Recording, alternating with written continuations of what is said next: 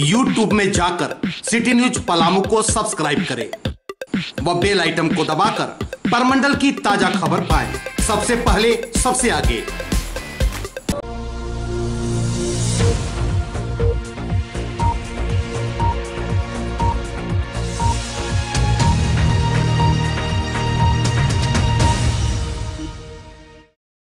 राज्य में व्याप्त भ्रष्टाचार को लेकर व खनन घोटाले के विरोध स्वरूप आम आदमी पार्टी पलामू जिला इकाई ने आज कचहरी परिसर में आयोजित एक दिनी धरना कार्यक्रम के माध्यम से प्रदेश की भाजपा ने सरकार की कार्यशैली पर जमकर प्रहार किया।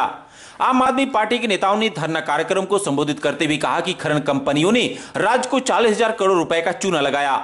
इतनी बड़ी घपलेबाजी शीर्ष स्तर के पदाधिकारियों और मंत्रियों की साठगांठ के बिना संभव नहीं है।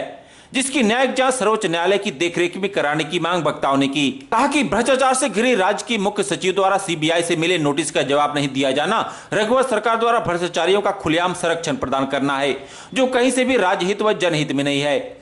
आप नेताओं ने आम आदमी की ओर ध्यान नहीं देने का सरकार पर आरोप लगाया।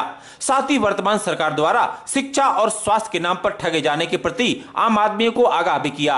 कार्यक्रम में कौशल किशोर बच्चन, सुधीर कुमार, बबन ठाकुर और शीतल सिंह चेरो सहित दर्जनों की संख्या में आप नेता व कार्यकर्ता उपस्थित रहे।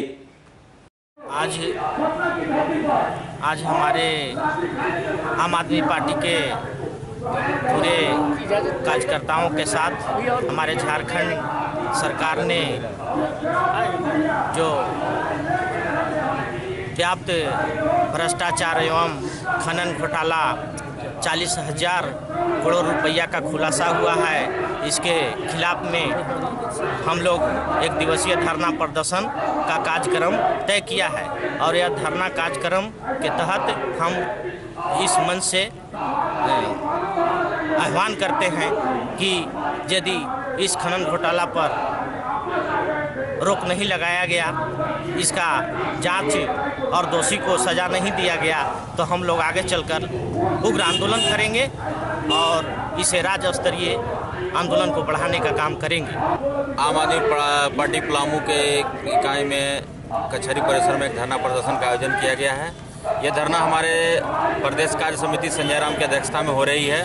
धरना का मुख्य उद्देश्य है कि झारखंड में भ्रष्टाचार बहुत ही चरम सीमा पे चल रही है। ये जो रघुवर सरकार है, भाजपा की सरकार है, ये सिर्फ़ भ्रष्टाचार ही कर रही है। ये विकास के नाम पे खुद को अपना ताली बजाती है, खुद को अपना गिनाती है। सिर्फ़ पोस्टरबाजी करके ये सरकार अपने आप को बहुत ही विकास का नाम दे रही है। आज एक खनन घोटाला में चालीस हज़ार करोड़ का खनन घोटाला हुआ है, जिसके मुख्य सचिव राजबाला वर्मा हैं और ये रघुवर सरकार चुपचाप बैठी हुई है, उसके खिलाफ कोई कार्रवाई नहीं कर रही है।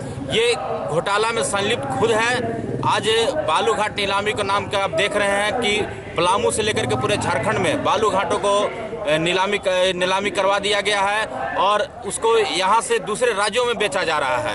यह खनन खनन विभाग में बहुत बड़ा घोटाला हो रहा है। पहाड़ों को लीज किया जा रहा है। पहाड़ से जो लीज कर रहे हैं वो अनगिनत पत्थर उठा के ले जा रहे हैं। सरकार को चलान दे रहे हैं, नहीं दे रहे हैं, इसका कोई देखने वाला नहीं है। एक ही चलान पे दिन भर गाड़ियाँ जो है सो कि माल को ढोते रह रही है।